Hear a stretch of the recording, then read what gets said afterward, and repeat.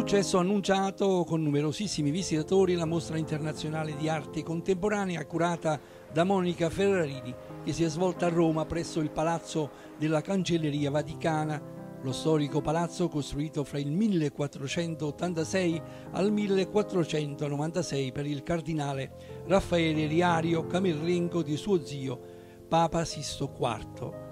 C'era attesa perché fra i grandi artisti ha partecipato con le sue opere, poi molto apprezzate, anche il famoso maestro Mario Guarino, pittore di origini napoletane, ma milanese di adozione che espone le sue opere in tutto il mondo. Inutile dire che i suoi capolavori presentati a Roma, Il giardino dell'amore e Oltre i confini, questo è il titolo delle opere, hanno avuto un grande apprezzamento da critici e appassionati. Quando e a che età nasce la sua passione eh, per la pittura? La passione praticamente nasce già da, dall'infanzia. La mia maestra mi diceva quando veniva mia madre per i colloqui, eh, il suo figlio è un pittore, lo dovrà mandare all'Accademia di Belle Arti quando sarà, insomma, quindi in breve e tenera età, insomma. Quando invece si è reso conto uh, di arrivare ad un, uh, ad un livello così alto come è arrivato adesso?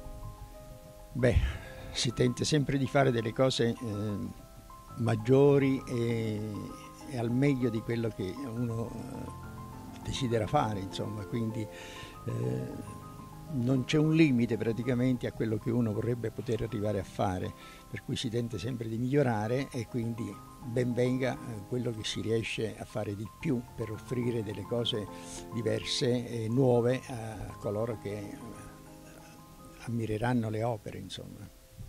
Ecco, lei eh, nelle sue opere, nella sua creatività, lancia anche dei messaggi. Indubbiamente, perché praticamente essendo un figurativo alla base, ma eh, c'è un simbolismo per cui le figure assumono un significato diverso, mi consentono eh, di lanciare attraverso loro stesse un messaggio eh, a, a, coloro che eh, guardano le opere e praticamente eh, affondo le, la mia mm, tematica alle problematiche sociali in vari, in vari settori. Insomma. Come può essere definita la sua pittura? Io amo molto gli impressionisti, quindi mm, sono partito ispirandomi a loro, dai colori, dal cromatismo, dalla luce viva dei, dei, degli impressionisti, i macchiaioli. Mm, mi sono ispirato poi per il simbolismo a cui eh, fanno parte grandi pittori tra cui Magritte, Dalì e tanti altri. Insomma. Lei ha una sua scuola con molti allievi. Qual è il consiglio che dà spesso ai suoi allievi che frequentano? Il consiglio è alla base quello di eh, fare le cose con, con passione, con costanza e credere in ciò che si fa, sempre. C'è qualche artista di oggi o di ieri che le si ispira in modo particolare? Diciamo, come dicevo prima, per quanto riguarda gli artisti come impressionisti, Manet, Monet e come eh,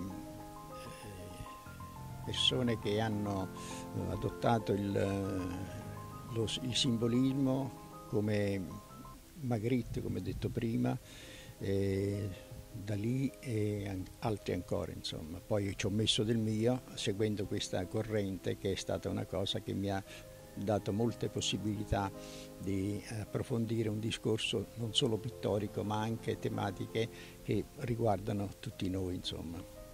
Ecco, a parte l'appuntamento di oggi, un appuntamento prestigioso qui nel, nella struttura di, del Vaticano, quale sarà il suo prossimo impegno? Quale sarà la sua prossima mostra? Fine anno io ricevo molte offerte di esposizioni in varie parti non solo dell'Italia ma anche all'estero, quindi farò un computo di quello che mi sarà arrivato per poi provvedere e scegliere un'offerta migliore, vediamo se in Italia stesso o all'estero, è una cosa che farò col nuovo anno praticamente. Si sente di dare un messaggio a chi si avvicina, ai giovani che si avvicinano alla pittura?